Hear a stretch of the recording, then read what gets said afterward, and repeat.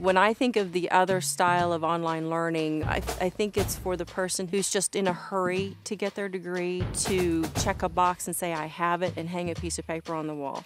Not that I don't want that. What I want, though, is to be better educated. There's one thing that you're going to invest in, and that's yourself. And how can you make yourself more valuable? And that's to educate yourself. It's online, on campus, on your schedule. OU Outreach. It's your degree. Go get it.